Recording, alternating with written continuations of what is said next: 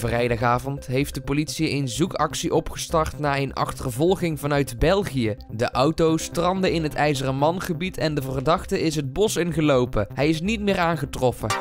De politie heeft dinsdag een onderzoek gedaan naar een verdachte afvalcontainer langs de A2. Op de parkeerplaats had men een verdachte inhoud aangetroffen met mogelijk menselijke bloedresten.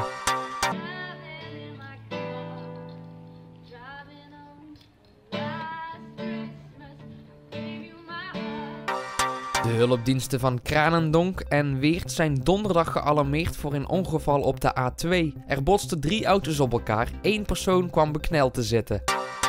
Bij Kelpen-Oler zijn woensdag twee personenauto's tegen elkaar gebotst. De brandweer werd gealarmeerd voor een technische bevrijding en ook de traumahelikopter kwam ter plaatse.